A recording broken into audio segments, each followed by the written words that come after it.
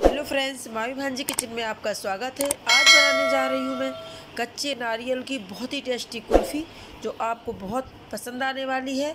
तो वीडियो को आप एंड तक ज़रूर देखना, आपको वीडियो बहुत पसंद आएगी। तो चलते हैं, फटाफट से रेसिपी चालू करते हैं।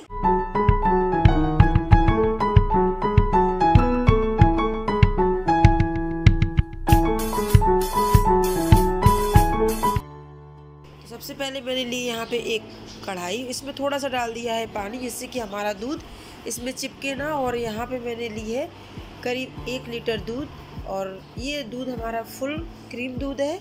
इसमें डाल दिया है, इसको चलाते हुए मैं अच्छे से पका लूँगी। तो देखिए, हमारा अच्छे से पक रहा है। यहाँ पे मैंने लिया है कच्चा नारियल। तो बस इसको मैं छीलूँगी नहीं का छिलका नहीं उतारूँगी। बस इस तरह से ही इसको ग्राइंडर जार में पीस के तैयार कर लेती हूँ।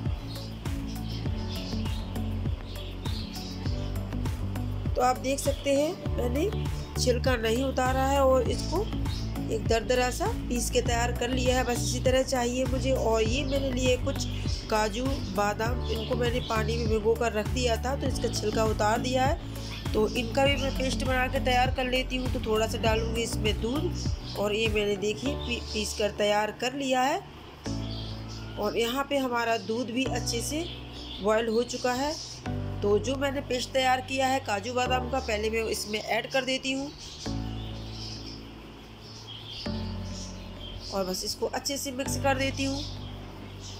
तो ये हमारी कुल्फ़ी बहुत ही टेस्टी बनेगी इससे और टेक्सचर भी बहुत ही अच्छा आएगा। तो बस इस तरह से हमने मिक्स कर लिया है। और अब मैं इसमें डाल दूँगी शक्कर।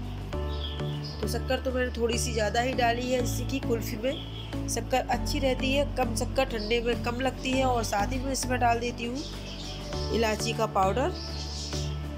और जो मैंने नारियल को पीस करके तैयार किया था फ्रेंड्स तो वो इसमें ऐड कर देती हूँ। तो अब आप इसका टेक्सचर देख सकते हैं, किस तरह से एकदम गाढ़ा गाढ़ा हो चुका है पेस्ट हमारा। तो बस इसको मैं ठंडा कर लेती हूँ और यहाँ पे मैंने लिए हैं कुल्फी मोड बस इस तरह से और इसमें मैं ये पेस्ट डाल के तैयार कर लेती हूँ। ये हमारा पेस्ट एकदम से ठंडा हो चुका है।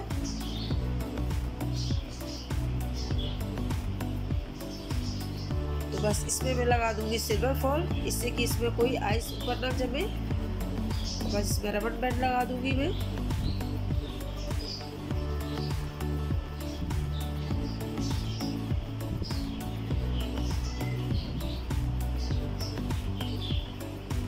बस थोड़ा सा कट करके इसमें स्टिक लगा देती हूँ।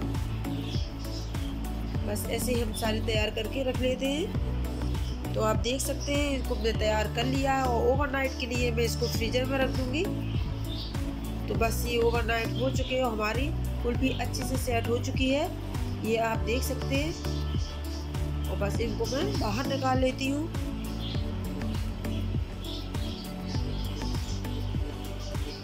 तो देखिए, हमारी अच्छे से सेट हो चुकी है।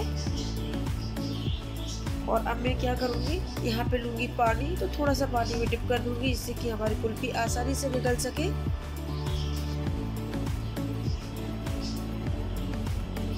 तो देखिए फ्रेंड्स हमारी कुल्फ़ी एकदम आसानी से बाहर निकल रही है और बहुत ही टेस्टी बनके तैयार हुई है फ्रेंड्स आप देख सकते हैं। इतना अच्छा टेस्ट है कच्चे नारियल की कुल्फ़ी। आप अपने घर में ज़रूर ट्राई करना, आपको बहुत पसंद आएगी। और अगर आपको हमारी रेसिपी पसंद आती है तो लाइक करना, ज़्यादा से ज़्यादा शेयर करना, हमारे चैनल को सब्सक्राइब करना बिल्कुल मत भूलना। मिलेंगे नेक्स्ट वीडियो में नई रेसिपी के साथ।